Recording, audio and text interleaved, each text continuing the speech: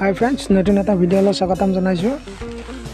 আপোনালোকক এইটো এছাম টাইপৰ দুটা ৰুমৰ এইটো ঘৰ অলৰেডি কালাৰ কৰা হৈছে। আপোনালোকক ভিতৰ ছাইডত কেনেকুৱা ডিজাইনিং কৰা গৈছে আৰু এই ঘৰটোৰ এতিয়ালৈ খৰচ কিমান গৈছে সকলোখিনি কৈ যাম আপোনালোকৰ লাষ্টৰ ফালে। ঘৰটোৰ ফ্ৰণ্ট ছাইডৰ পৰা ভিতৰৰ ছাইডলৈ সকলোখিনি এবাৰ চাই লওক। এইটো ফ্ৰণ্ট ছাইড হয়। আৰু এই ঘৰটোৰ মেজাৰমেণ্টটো কৈ আছোঁ এইটো বাৰাণ্ডা ছাইড এখন বাৰাণ্ডা দি আছে সৰুকৈ। এই ঘৰটোৰ বহলটো দিয়া গৈছে চৈধ্য ফুট আৰু দীঘলটো দিয়া হৈছে দুটা ৰুমত ছাব্বিছ ফুট। আৰু ঘৰটোৰ মাথৰ ছাইডে সাত ফুটি এখন এটা লেট্ৰি বাথৰুম দিয়া গৈছে। আপোনাক ভিতৰ ছাইডৰ পৰা দেখুৱাই দিম। সেইকাৰণে এইটো ফ্ৰণ্টৰ বাৰাণ্ডা ছাইডত দুখন দৰ্জা দিয়া গৈছে। এইটো ড্ৰয়িং ৰুমত আৰু বেডৰুমত যোৱা দুখন যায় এইটো হৈছে ড্ৰয়িং ৰুম আৰু এই ৰুমটো তেৰ বাই দহ হয়। আৰু ড্ৰয়িং ৰুমটো দিয়া গৈছে তেৰ বাই দহ। সৰু হৈছে যিহেতু জেগা কম হয়। আৰু ইয়াত যিহেতু বাৰাণ্ডাখন চাৰি ফুটি বাৰাণ্ডা দিয়া গৈছে ফ্ৰণ্টত সেইকাৰণে এইটো ৰুম দহ দিয়া গৈছে বহলটো। আৰু দীঘলটো হৈছে তেৰ।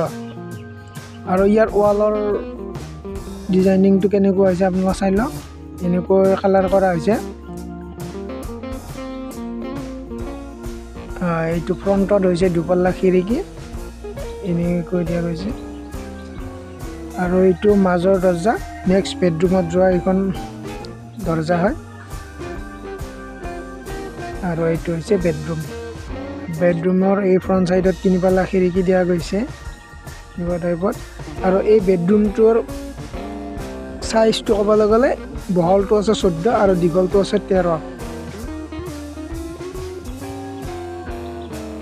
এইটো এনেকৈ চাজা দিয়া গৈছে বেডৰুমটোত এল চাইজত এনেকৈ চাজা দিয়া গৈছে আৰু বেডৰুমত চাজা যিহেতু দিব লগা হয় কাৰণ দিলে কিছুমান এক্সট্ৰা বস্তু তুলি থ'ব পৰা যায় চাজা দিব লাগে। এনেকৈ দিয়া গৈছে আৰু ইয়াত তলত টাইলছ লগোৱা হোৱা নাই। খোলা মাৰি দিয়া গৈছে। আৰু এইটো হৈছে যিহেতু ৰুম দুটা হৈছে ছাব্বিছ ফুট আৰু এইটো সাত ফুট বাঢ়াই দিয়া গৈছে। এইটো ইয়াত বাথৰুম এটা দিয়া গৈছে। যিটো ঘৰৰ মুধাৰ ছাইডে সাত ফুটি বাথৰুম এটা দিয়া গৈছে। তাৰ যিহেতু চৈধ্য ফুট বহল হয় ইয়াত সাত ফুট এটা স্পেচ ৰখা গৈছে আৰু সাত ফুট বাথৰুম কৰি দিয়া গৈছে। এনেকুৱা টাইপত ঘৰটো বনোৱা হৈছে। আপোনালোকে এই ঘৰটোৰ এতিয়ালৈকে খৰচ গৈছে বৰ্তমানলৈকে। চব কালাৰিং কৰা মিস্ত্ৰী খৰচা মিলে। আপোনালোকৰ চাৰে তিনি লাখ টকা এতিয়ালৈ খৰচ হৈছে। আপোনালোকৰ মূল খৰচখিনি কৈছোঁ আপোনাৰ চাৰে তিনি লাখ টকা। বৰ্তমান পূৰা খৰচ হৈছে।